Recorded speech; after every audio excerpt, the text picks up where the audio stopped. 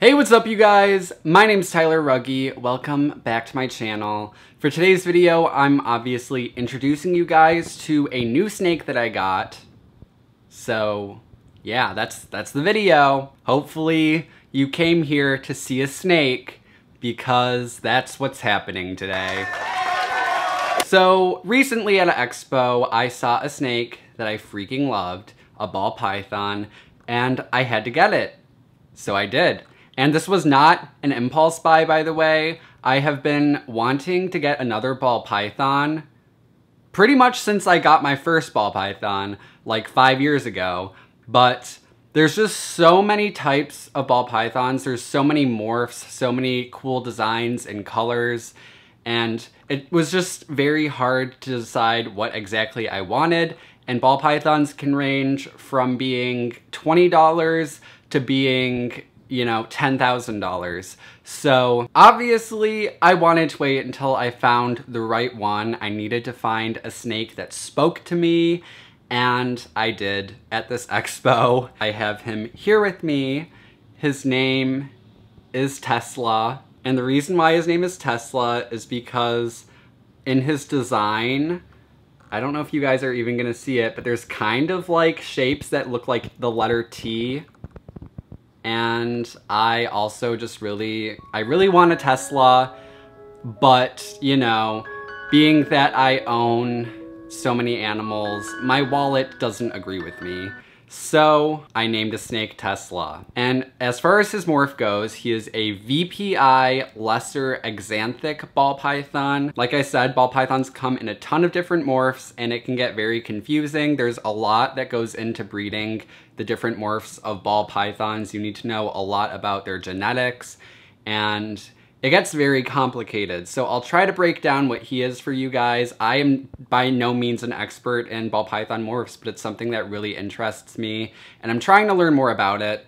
So he, as you can see, is kind of like a black, white, gray color, and there's also brown in him. To break it down, he is a VPI axanthic ball python. So axanthic is a recessive color mutation. It being a color mutation means that the axanthic mutation only affects the color of the ball python. So it doesn't affect the pattern at all.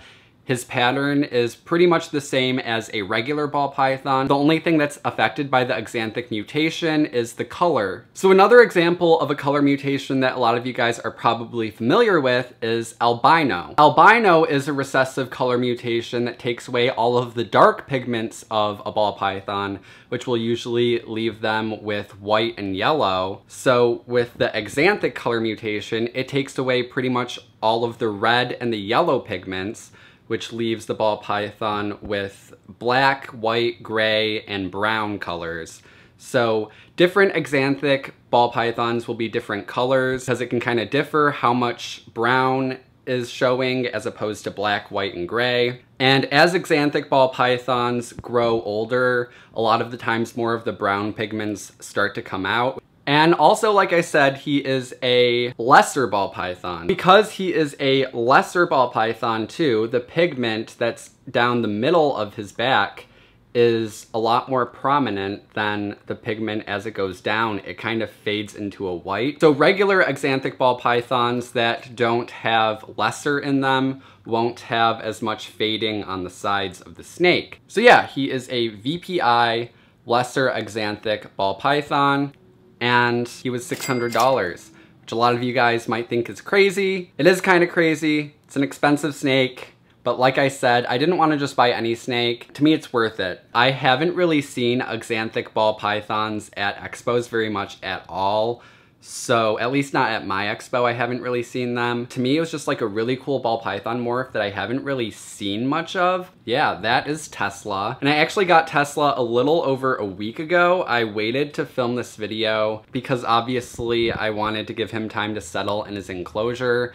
And also he's right in my room. He is being quarantined in here. I don't have any other reptiles in my bedroom. And that's actually probably gonna be my next video is going to be about quarantining reptiles and how to do it and why it's important to quarantine. But yeah, I just wanted to give him time to settle in and get used to his quarantine enclosure. Now I guess we can cue the snake montage.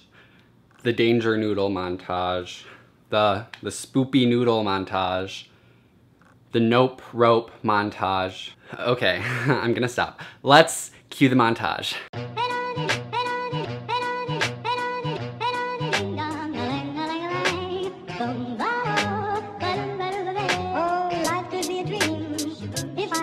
you up in paradise on the ocean. If you would tell me I'm the only one that you love, life could be a dream, sweetheart. Hello, hello again, shaboom.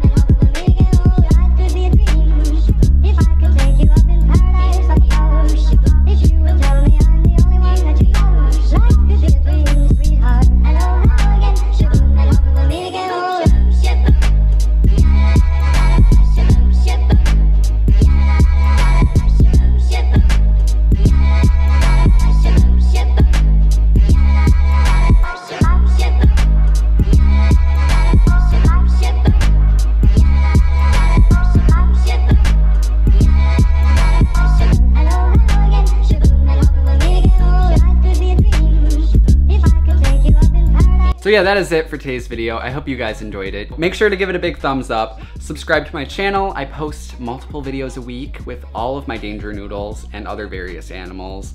So if you would like to not miss out on an upload because they're so good and exciting, make sure you hit the subscribe button and turn on my notifications. Follow me on Instagram and Twitter and Snapchat. Those are linked down below. I need all the followers I can get, so make sure to follow me. I'll see you guys in my next video and so will Tesla.